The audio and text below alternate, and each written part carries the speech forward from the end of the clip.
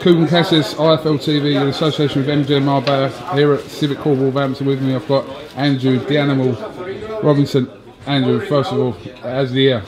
Um, I can't. Well, in a minute, I'm a bit numb and I've still got the adrenaline going through me. So, if you ask me tomorrow, I'll to tell you better. But I know, I know it's swollen. Yeah. Can you feel it though? Can you feel it? Um, the adrenaline's still going in a minute, so I can feel it, but don't, don't feel as bad as it is. You know what I mean? Ma- Maybe your shoulders should just put the ice back on it. Okay, Or- yeah. okay. Do you wanna- Ice, ice. Do you want to put it back on? Leave it on. Leave it on. Um, Dan Blackwell's tough as they come. Yeah. Uh, how did you think the fight went? You went up comfortably on points in the Oh, end. the, the fight went alright. Obviously, I knew he was tough, he was strong in game, and he was going to come to fight, and that's exactly what he did.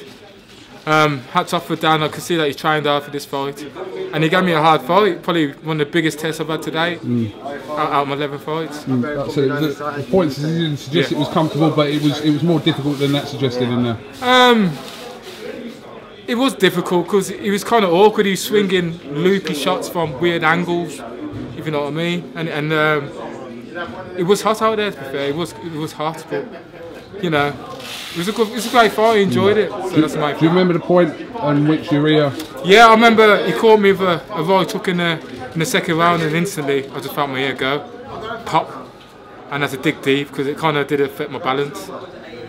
It did affect my balance, yeah. Positive take from night. You're still undefeated, so you'll be chasing some sort of title this year. Oh yeah, I mean it's obviously down to the management, but whatever title's there for me to, to go for, I'm here and I'm ready.